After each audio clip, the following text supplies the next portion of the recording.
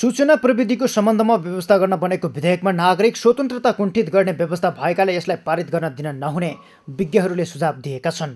यो विधेयक लागू भएमा सरकारको आलोचना गर्नेलाई जन्म कैदसम्मको कारवाही हुने भन्दै सामान्य आलोचना गर्नै नपाउने अवस्था घातक हुने जानकारहरू बताउँछन्। विज्ञहरू सम्मिलित छलफलका क्रममा सरकारले नागरिक स्वतन्त्रता हनन गर्ने मात्र नभई अभिव्यक्ति स्वतन्त्रतामाथि समेत नियन्त्रण गर्न खोजेको विज्ञहरूको आरोप छ। कैदसम्मको सजाय गर्नको लागि घाटपत्रमा सूचना निकालेको भरमा यहाँ अदालत गठन गर्न सक्छ यो विधेयकले जुन अदालतमा न्यायको मान्छे कानुनको मान्छे अब के भयो यसले गर्दाखेरि भने एउटै किसिमको कसुरको लागि नेपालमा अब दुई प्रकारको अदालत र दुई प्रकारका कानुन हुन्छ वैचारिक स्वतन्त्रतालाई निर्वाध रूपमा उपयोग गर्न पाउने अधिकारलाई खुम्च्याउने गरी ल्याउन खोजिएको सूचना प्रविधि विधेयकलाई विकास तथा प्रविधि समितिले छब्बिस बुदामा संशोधन गरेको छ। संशोधित विषयमा पनि छलफल चलाउनु पर्ने विज्ञहरूको सुझाव छ।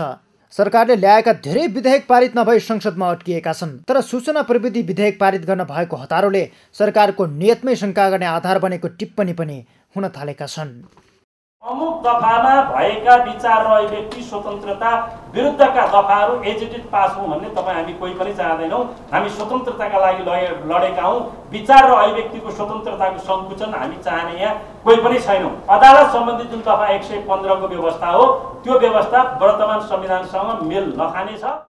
यो विधेयकका विषयमा भएको छलफलमा प्रमुख प्रतिपक्षी दललाई छलफलका लागि समय नै नदिएको काङ्ग्रेस सांसदको आरोप छ। सरकारले बहुमतका नाममा नागरिकका अधिकार कुण्ठित गरे चुप लागेर नबस्ने प्रतिपक्षी दलका सांसदहरूले चेतावनी दिएका छन्। दुई तिहाईको बलमा बहुमतको बलमा विकास समितिबाट यही कानुनलाई विधेयकलाई पास गरेको भर्खरै ताजा रहेको छ।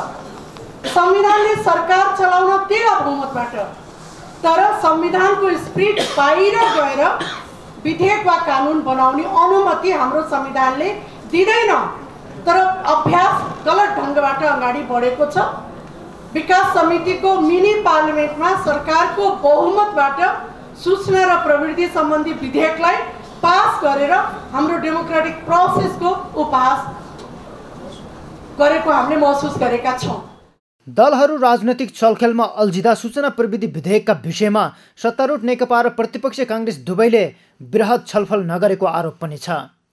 नेपाली कङ्ग्रेसभित्रको कुरा मैले भन्छु एक त पूर्व माओवादी र पूर्व एमाले बिचकै रसाकसीको जुन खालको दर्शक हामी अहिले बाहिर बसिरहेका छौँ त्यसले पनि सायद विशेष गरी लोकतान्त्रिक संस्कार बटुल्दै आएको एमाले पक्ष अहिले उहाँहरूको या त बोली बन्द भएको हो या बोली सुकेको अवस्था छ।